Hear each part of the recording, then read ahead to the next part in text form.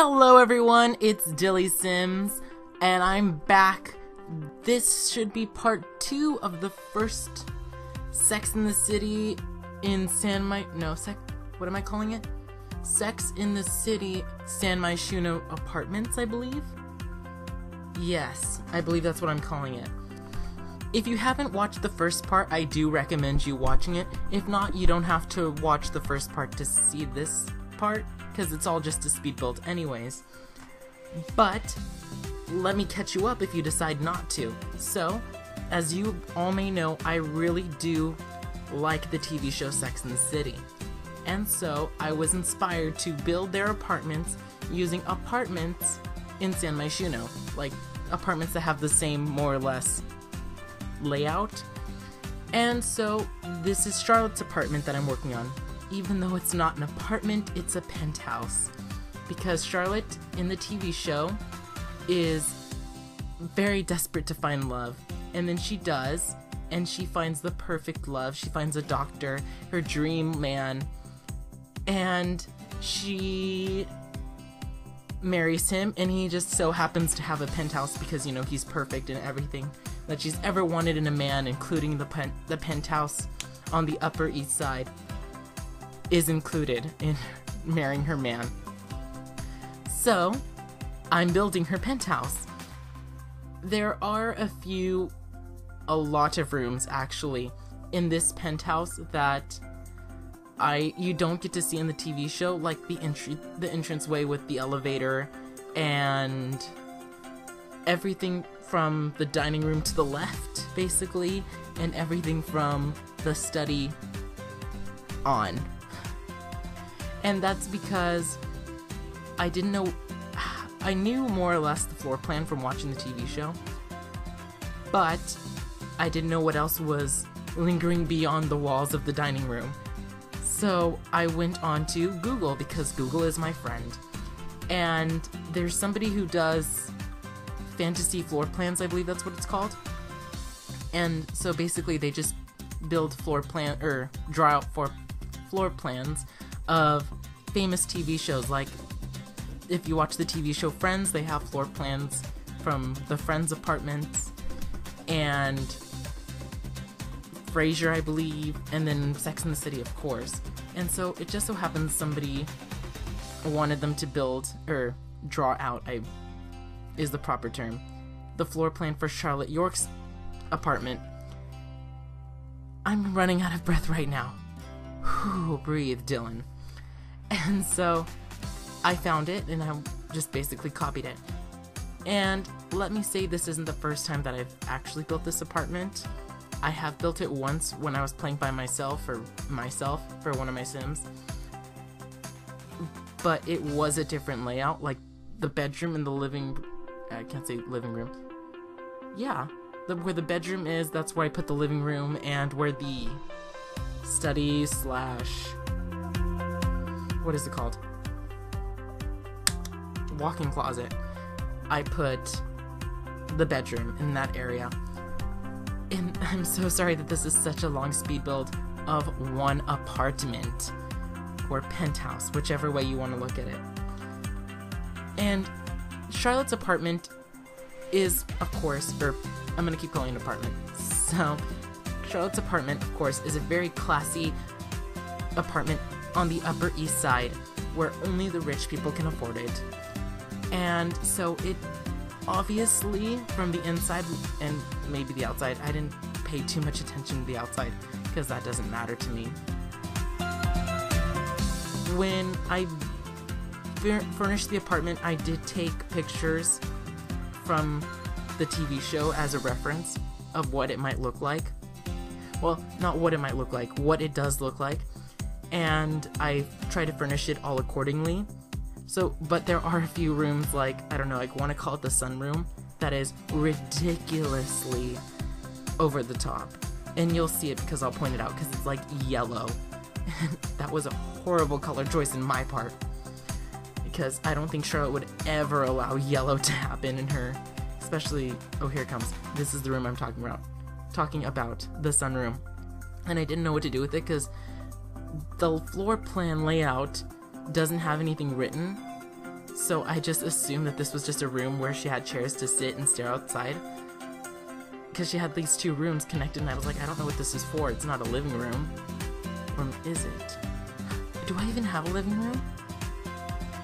I never put a living room in here. But yet again, you never get to see her living room in the TV show, so it's okay, I guess. So that yellow monstrosity is her sunroom. So she has a lot of curtains and she just gets to sit there and look out the windows. Wow, I wish I could redo that because I would have changed those two rooms a lot.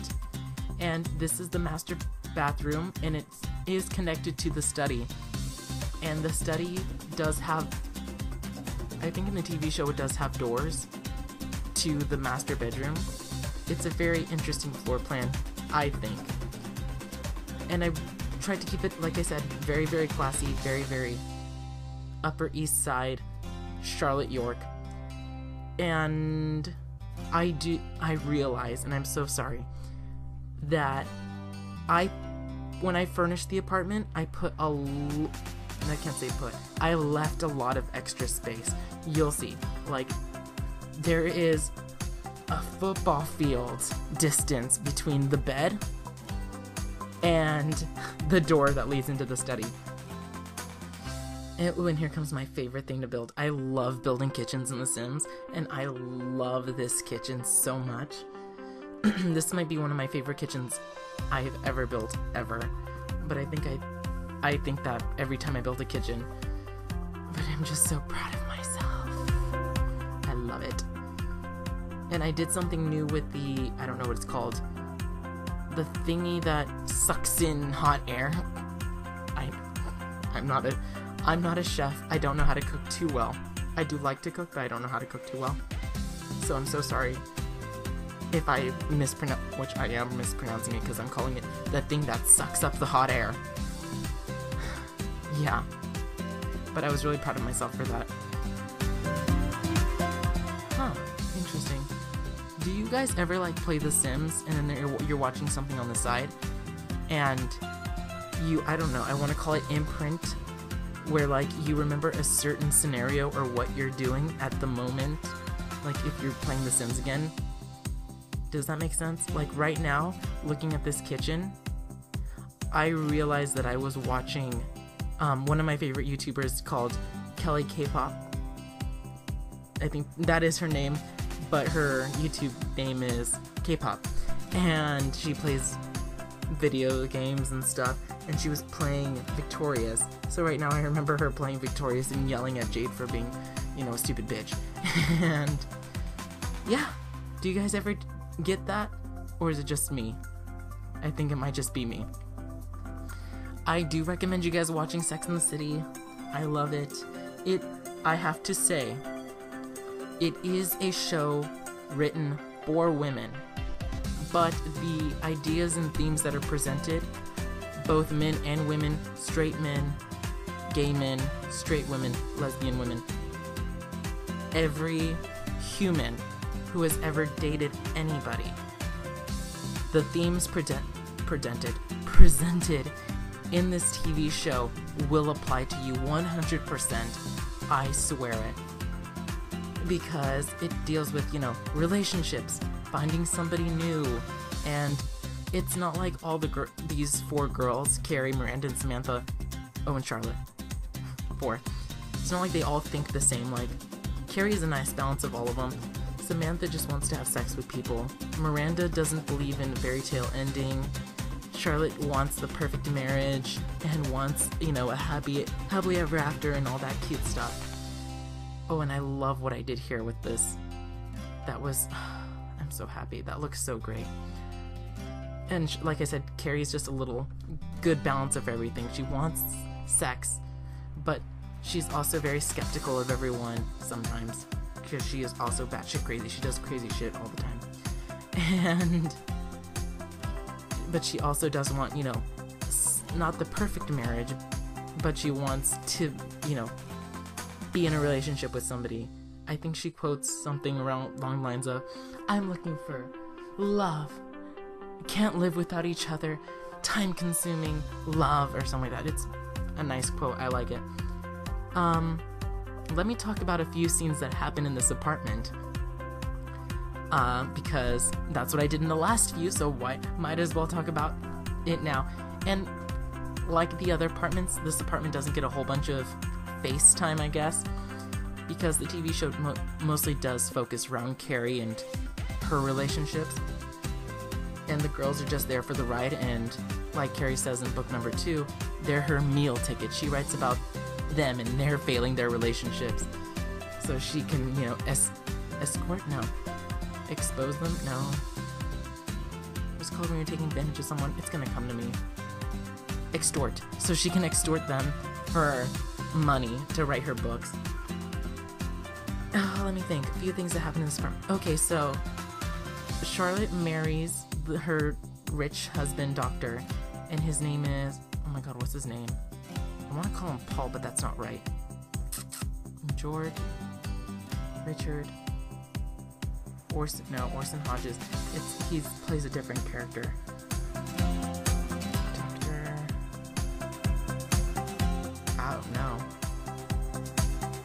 Know he's Scottish. I don't know.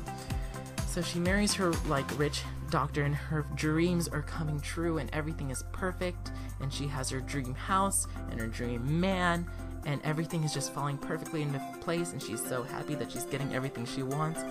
And then it's the night before they get married, and Charlotte was waiting to have sex with her her new husband. I'm just gonna call him Orson because I don't know what his real name is. Goes away. Oh my gosh, I wish I knew what his name was. Anyways, I'm gonna call him Orson for now. So they're about to have sex the night before the wedding, and then he couldn't get it up, and she freaks out, and she calls Carrie because apparently when you have any problem with any relationship, you should call Carrie because you know she hasn't ruined multiple relationships herself. Let me just take a sip of my Cosmo.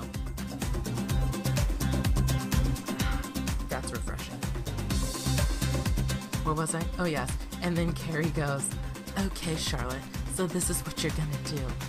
You're gonna. Sorry about the way I sounded there. She goes, Okay, so this is what you're gonna do. You're gonna take a piece of paper and put it on top of his penis while he is sleeping. And then the next morning, check, and if the paper is ripped, that means he can get an erection. And it's not a physical problem. Then that means it's an emotional problem. And so she does. and when you're watching this whole this thing go down, you're like, wow. Trey. Oh my god, his name is Trey. It's not Orson. His name is Trey, so I'm gonna call him Trey from now on. So you're watching like her in a very PG 13 way. They don't show the penis or anything. Putting a little like stamp. Like the postage stamps, the old school ones where you like lick them and put them on the postage. I know a lot of you guys have never mailed a letter and don't know how to write like write an address. You guys are so lucky. I had to do that. Um and so she puts it on his penis and the next day it's ripped and she's so excited and then she realizes, "Oh my gosh. That means there's something wrong with me." That's a little thing that happened.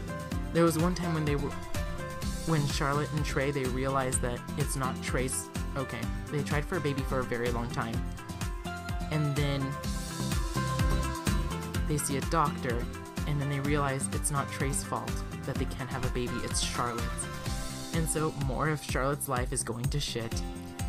And they interview a couple and the couple's so excited to give them the baby when it gets born and then they, Charlotte and Trey find out that they were just like basically using them as a free meal ticket to come to New York City. Not a whole lot of exciting, fun stuff happens in this apartment. In this apartment, it's mostly just Charlotte losing everything, basically. Okay, here, let me throw a few good stories in there because Charlotte does get a happily ever after. Sure, it's not the way she originally wanted to be with a rich doctor, husband, but her and Trey try so hard to get to have a baby, and it doesn't work. And then I forget exactly what happens, but Trey and Charlotte decide they're gonna get a divorce.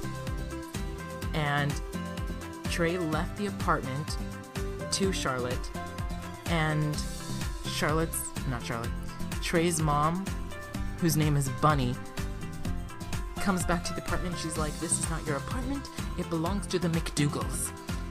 And she tries to sue Charlotte for the apartment, so Charlotte gets a lawyer, and he's a Jewish lawyer. And then, and he's not attractive. He is bald and he is short, and Charlotte realizes she starts to fall in love with him, and then they start having sex. And not only does she win the apartment because Trey comes in during their like legal battle with um, Bunny, she wins the apartment and she also starts dating her new joy joyish Jewish lawyer whose name is oh my gosh what's his name? Why can't I remember any of these characters names? Harry. His name is Harry. And it's funny because his name is Harry and he has no hair on his head but he has hair all over his body. And they show that in the TV show like he's walking around naked but again you, it's very PG-13 you don't get to see any like body parts. And he is covered in hair. It's like a gorilla. And her and him they try really hard to have a baby but then they end up adopting at the very very end of the sixth season. And the sixth season is the last season of the tv show. And they adopt a cute little baby girl from china named lily oh i really liked the study the first time i built this stu- study for my sims i made it a little smaller and i loved how small i made it the first time this second time around, it looks nice, but like I said, I feel like there's just a whole bunch of extra room everywhere. And it doesn't look too appealing to the eye. Sure, it gives you more room to add stuff and add more walls, but I'm not going to be sharing this on the gallery with you guys because I don't know how to. Sorry, I just like whacked my finger up against my desk.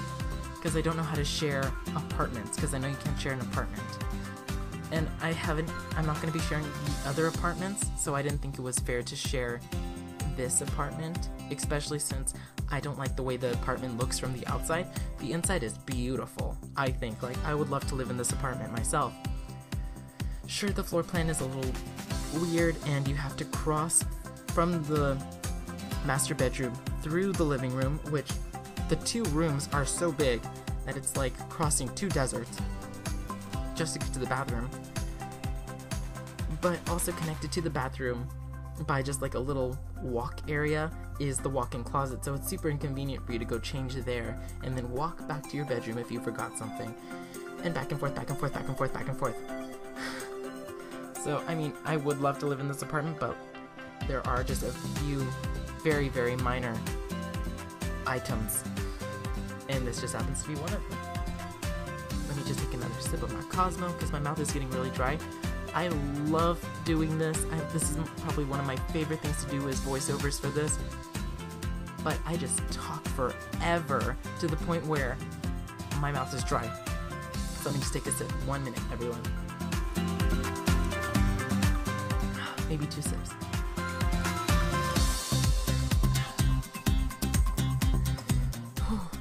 Like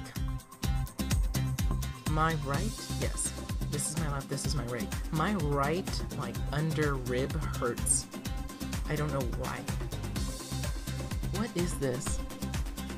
Ew, gross. Um, I just found, like, a little piece of string from my curtain, because my curtain's, like, a, a blind. Not a blind. The blinds. So it's, you know, connected by a string, and there are multiple pieces of wood, if you don't know what blinds are.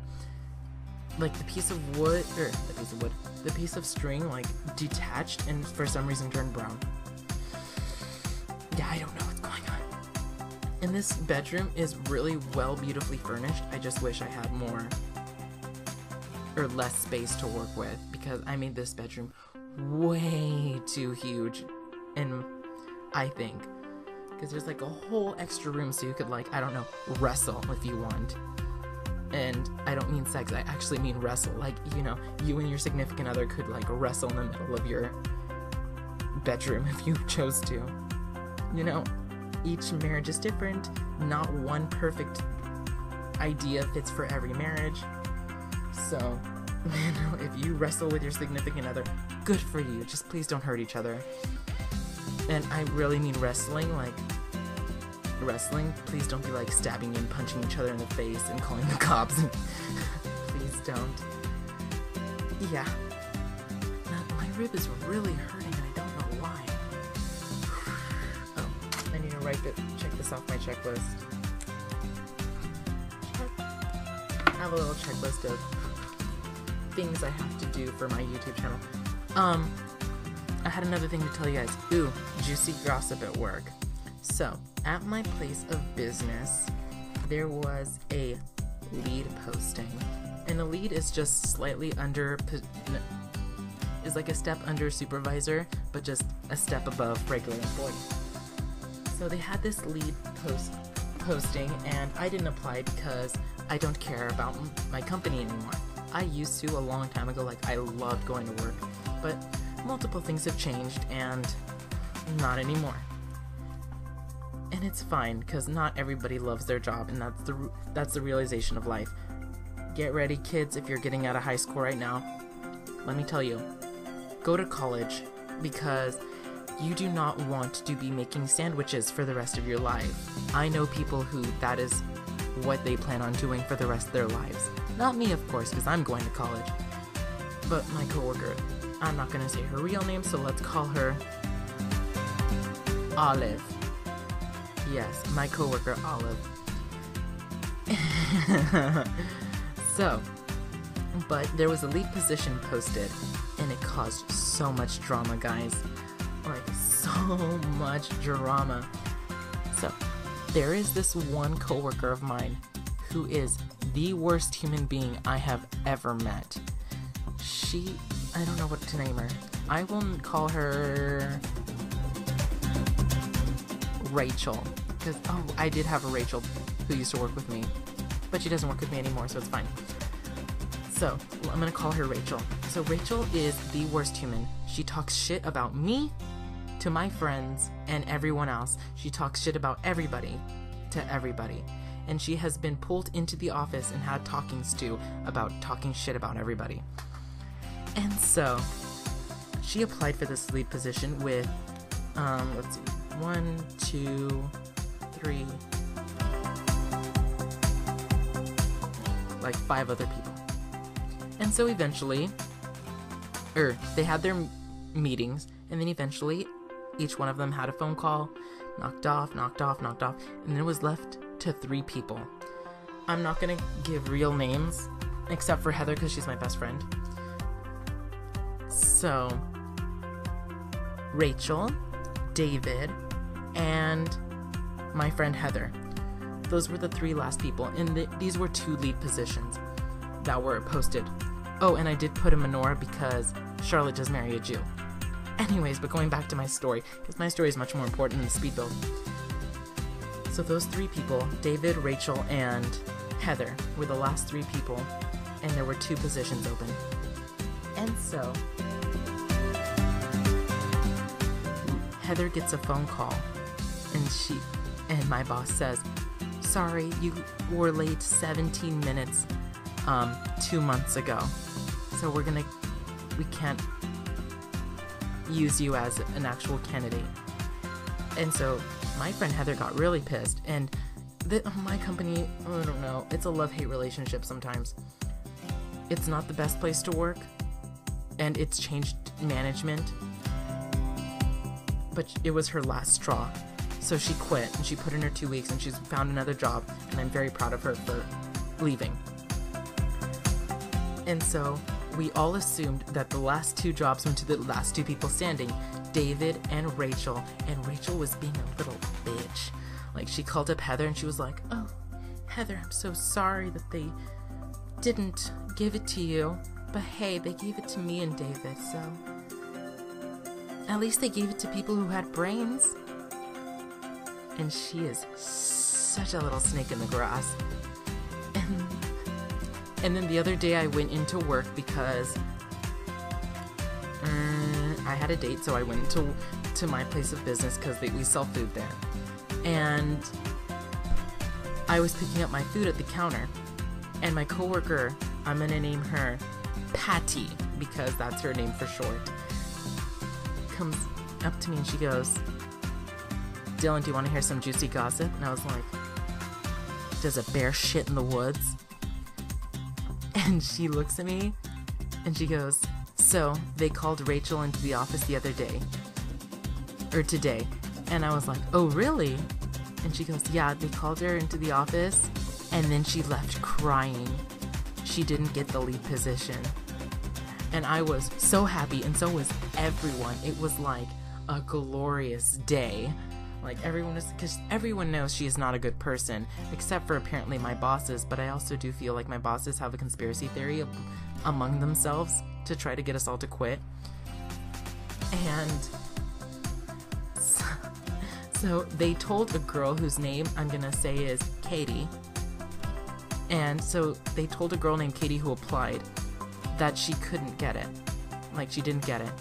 And then after they called Rachel into the office, they called up Katie and was like, "Oh, you can have the lead position after all." And you know, after like they promised it away to somebody else, technically, because that's what they always do. And I, that's exactly what it is. It is just a formality, but that's exactly what it is. It's just a formality because that's what my company has to do before they hire anybody, but they know who they're gonna hire beforehand. And I was so happy that she I mean can't say I'm so happy that she went home crying, but that's you know a nice plus. But I was so happy that she was not my lead because ugh, I have five leads. Or at the beginning of this year I only respected one.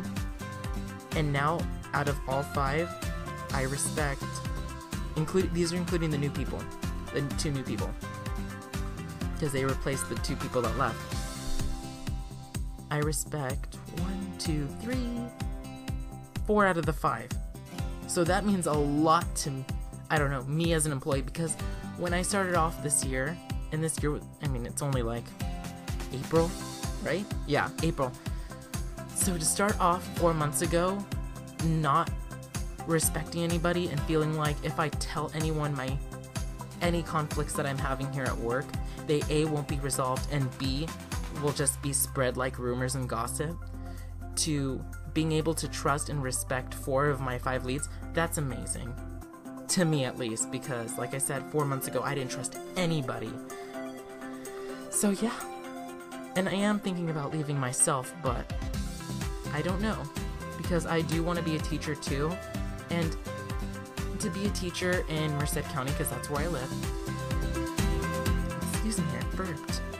To be a teacher in Merced County, you need to have 84 units of college credit, and you have to pass, I believe it's Eureka. Not Eureka, but like your space Rika. Rika is a uh, test you have to take to be a teacher. If you take those two, you could be a substitute teacher. The 84 units and pass Eureka.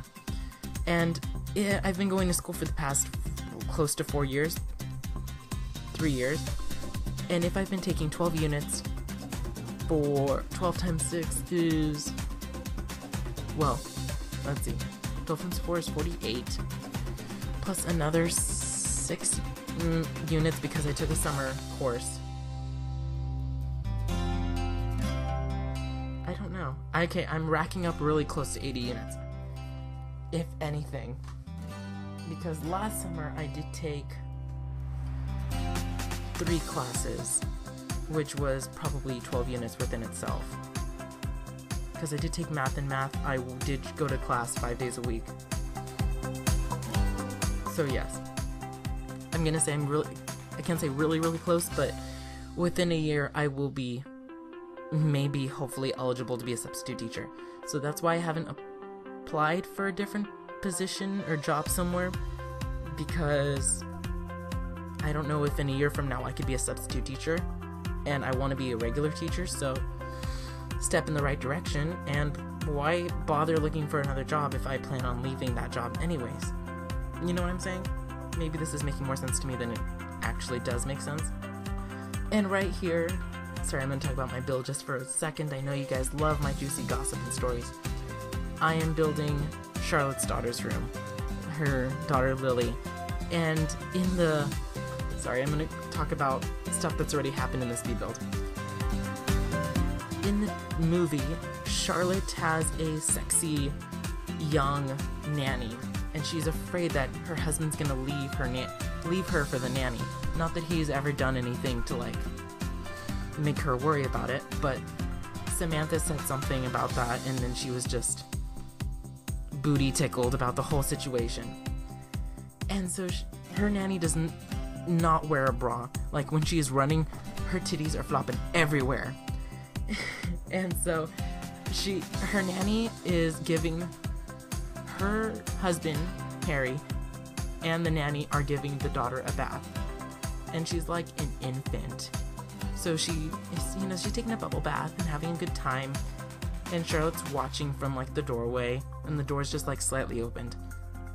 And then the baby grabs like the shower hose, which is on, and turns it onto the nanny, and it sprays all over the nanny, and then her vulvas are hanging out.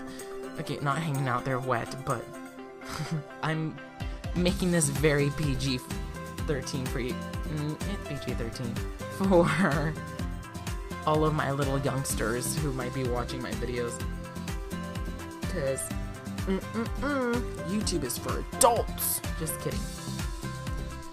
And I'm sorry, everyone, about the screenshots. I know you want to see screenshots of every single thing that I have built, but I only took screenshots of things, sets, areas that you might see in the TV show.